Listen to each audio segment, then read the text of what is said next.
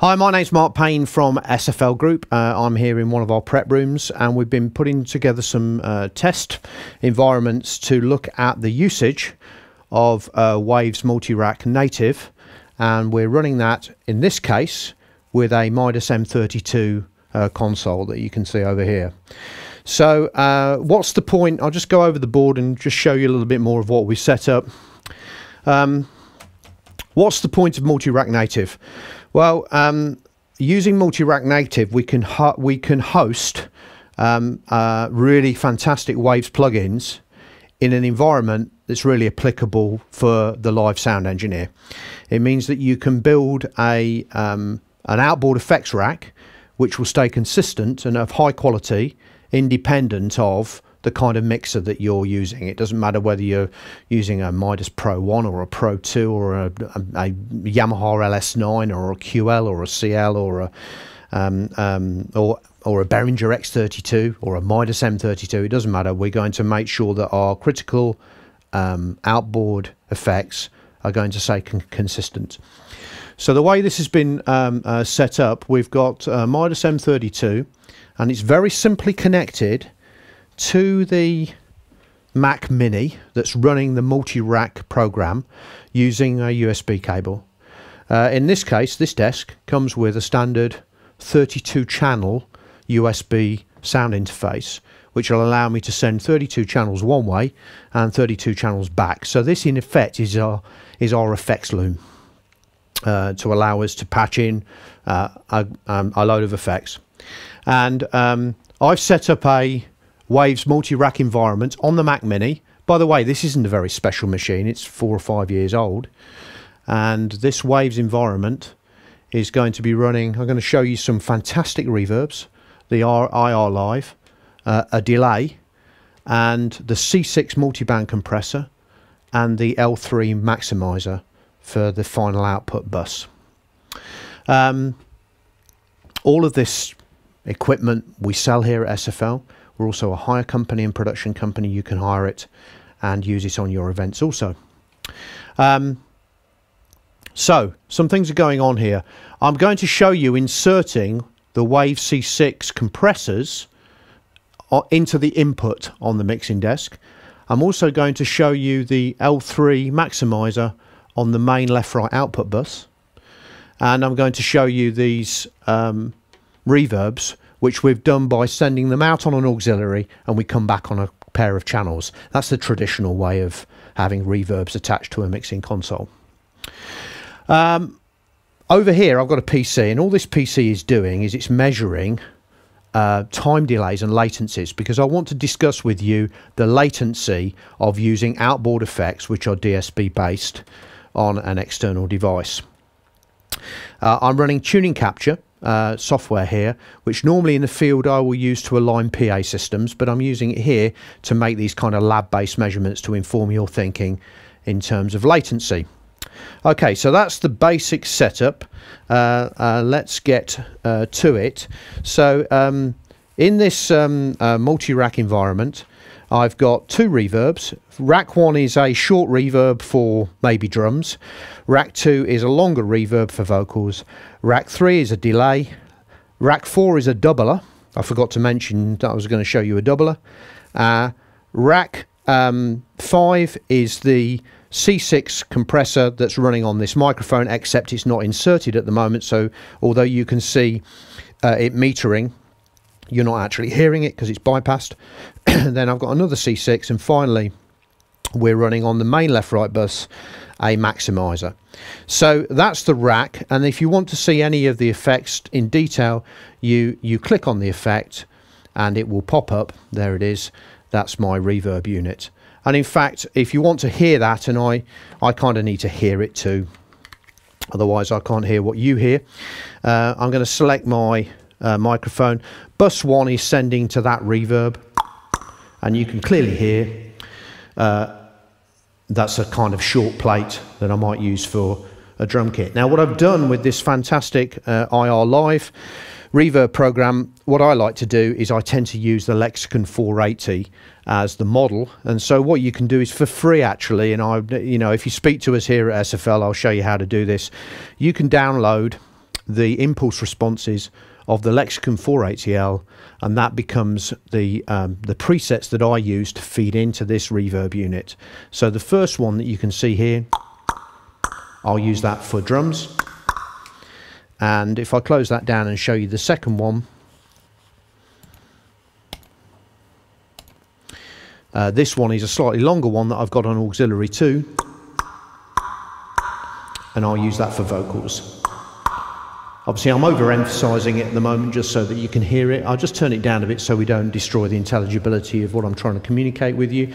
So, quite um, uh, simply, we get a reverb time to manipulate. You can see there I've shortened it to around 0.9 of a second. Here, you can see 1.9 seconds. You can go nice and long. 3.3 seconds and we can change the EQ of this I've taken some low end out let's put some high end in so we can change those characteristics so that's the idea of multi-rack I've just turned that reverb down. Don't feel that you need to be going in all the while to actually hear the effect. The effect is driven from the console, just as you would expect it to be. Here's the long one. So that's a shareable effect using the bus as you would normally do. Here's the delay, look. Going on a ping pong. If you want to just see what that looks like, it's here. We can change the time just by tapping it in. One of the things I like to do, I'll get rid of that because that's very confusing, is uh, I have a MIDI controller which comes into the computer and you can arm that tap to be from your MIDI tap. Uh, okay, a final thing that I've got here on a bus send is a doubler. And with this if you have a listen here we go I'm just spinning it now. You can probably hear that double tracking up. And with this we're able to get these ADT effects this is Waves Doubler, and you can see that what we're doing is we're detuning and sending that to, a, to the left, and we're doing a different kind of detune to the right. And you can also see that I'm running a modulation program, which is changing and bending that. And by, by doing this, I can get this ADT effect. And obviously you wouldn't make it as obvious as I had it. You would just use it for a bit of thickening, a little bit of reverb. That's that nasty three second one that's gone way too far now and there you have it that sort of idea. So that's using um, the uh, bus sends uh, to use time modulation type effects reverbs and delays as we would do normally. Now um, the latency issue however is not really going to be about that. We don't we don't mind a little bit of delay or pre-delay on a on a uh, on an effect send like a reverb or a delay. We're more interested in what happens if we start to route audio through these devices. And to show you that effect, um, what I'm going to do is show you a measurement of latency using tuning capture. And uh, tuning capture will send a sweep pulse through the system. And let me just show you how this has uh, been set up. So my, my tuning capture computer sends a log sine uh, chirp. It comes out of the sound card and into the system. It goes through the system and then it's actually sent back to the sound card again. So we send a noise and then we measure the noise. And effectively, tuning capture will measure the delay in that. The way in which it's able to do this is it, it has its own loopback reference. If you have a look, I'll show you. It's quite simple to see. It's basically got an output which is feeding back to its own input. That's our time zero reference. Uh, but we've also got an output that goes to the mixing console and then comes back from the mixing console. So this device is measuring the delay of this path against the delay of that path and coming up with the answer for latency. And I use that in acoustic environments, but here we're using in an electronic environment, i.e. there's no there's no speakers involved in this. We're coming into the mixing desk and directly out again. At the moment, there are no insertable effects that have been plugged in. So we are measuring purely this sound you'll hear, that's um, purely being measured into the mixing console and back out again. And you can see along this scale, uh, along this scale, we have got milliseconds. And you can see that the console latency, That's the time it takes to get through the Midas M32 is one millisecond, just under one millisecond. Now, to be honest, it doesn't really get any better than that. Most consoles that you measure are going to have that kind of latency. Some will be slower in actual fact. This console's running at 48k. You, if you run a console at 96k, you effectively half that latency time. But one millisecond is pretty good. One millisecond in acoustics is about this far. 0.9 of a millisecond for a foot. So if you want to hear one millisecond, if I step away from you by one foot, the sound that you hear will be delayed by another one millisecond. Of course, it's not because I'm talking to you through a DPA, and that didn't move reference my my my mouth. But um, that shows you that I can measure this. Now, if I come to the measurement channel, which is this channel here, and I insert the C6 compressor, so that that's actually actually actively going to be used. To actually enable the C6 compressor, we have to. Let's just have a look on the board again. We have to go out through the USB, through the Core Audio driver of the Mac Mini, through the software and the plug-in DSP of Waves Multi-Rack, back out again, and then we carry on. So there's going to be an inherent loop latency to achieve that sort of thing. How long is it? Would you like to take a guess while we measure it? So let's hit the sweep again.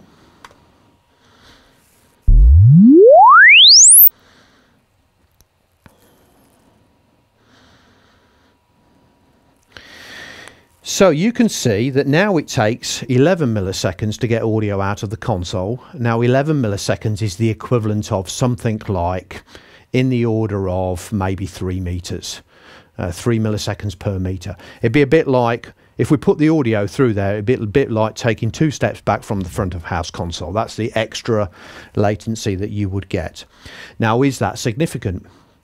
Well, um, Haas came up with the, the rule of precedence, which says that once we get above around 10 to 20 milliseconds, we can start to, de to detect discrete events.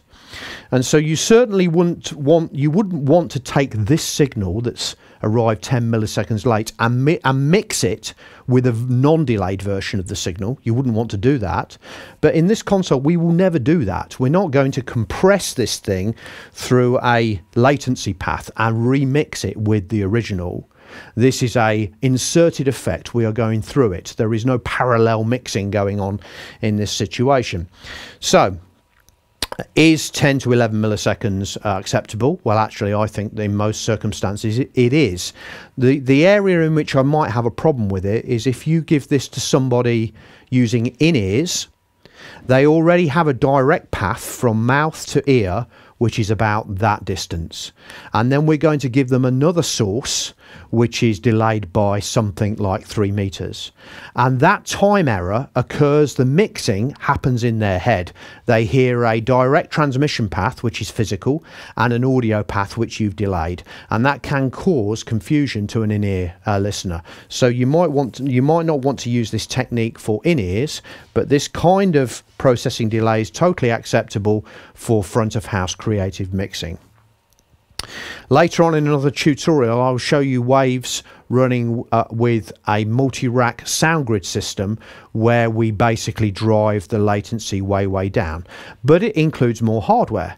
The reason I wanted to show you this simplistic system is really you don't have to buy anything to do this other than find yourself a Mac, a Mac computer to run it on and obviously you know, buying the Waves multi-rack environment and licensing a few plugins. So that's where we are. Just to show you that this will carry on building, you'll notice on the board we also have an L3 maximizer that can be uh, added to the left right bus. So I'm going to turn that on now and the L3 maximizer is down here. Let me just show you it. There it is, and uh, I've inserted it now. So not only have we got to go through the path for the input insert, we also have to go through the path again for the output insert. So let's measure the latency of that. You might want to start thinking how much you think it will be.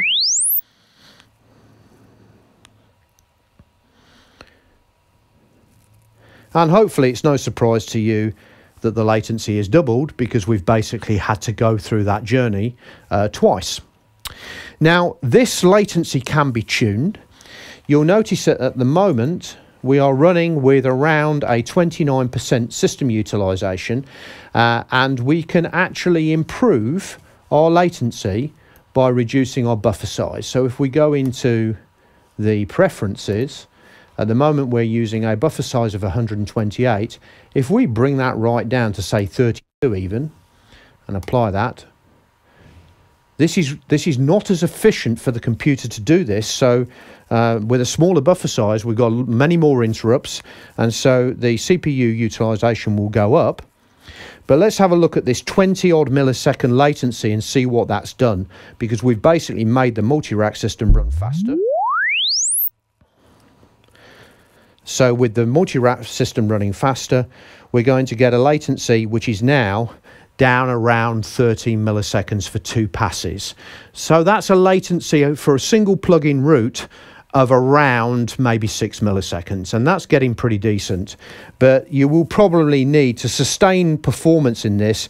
You're going to need a Mac, uh, a Mac Mini or a MacBook Pro, which is probably um, more recent than the last four or five years old, which is what this one certainly is. Okay, so hopefully that gives you an idea. Now I'm going to just turn these inserts off, and as a final act, um, I just wanted to show you that we can relate this back to true acoustics. And um, for a start off, what I'll do is I will unplug the um, mixing console return, and instead of it having a, an electronic return to the um, measurement system, we'll make an acoustical return to the measurement system. So for us to hear um, these things going on, we're going to have to come through the speaker. So let's do this now. I've, I've put the measurement mic about one meter from the speaker and we will do a sweep. And in doing that sweep, I'm just waiting for the image to pop up. And there it is. Can you see that we have a, um, a delay, a latency in this area of around three milliseconds. And that three milliseconds is basically equating to the little bit of latency that's in here and the couple of milliseconds it took to get from the speaker to the measurement mic. If I double that distance to around two meters and I do it again,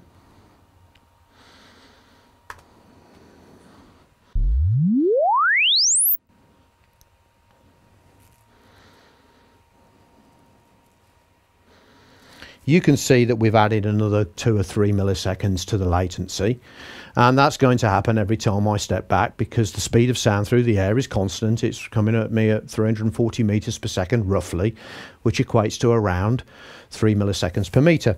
And this technique is how we align PA systems in live venues. I mean, I'm not using that in this way here. So Tuning Capture is a product that you can buy from Hazira SFL and we support it and we'll look after you and give you the right ways of using it to do system alignment and much, much more. But that's a whole different subject in itself. So this was explaining how we could use Waves Multi-Rack native in the lowest possible cost way, in the simplest way uh, with a console to get fantastic quality reverbs and delays and compressors um, without having to use any external additional hardware. Okay, so I've been Mark Payne from SFL Group. Tune in and I'll show you some other things. We're going to move on and look at more complex wave setups using the SoundGrid network. Thank you.